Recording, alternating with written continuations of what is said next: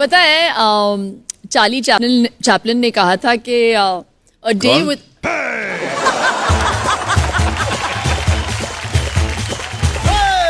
Charlie Chaplin.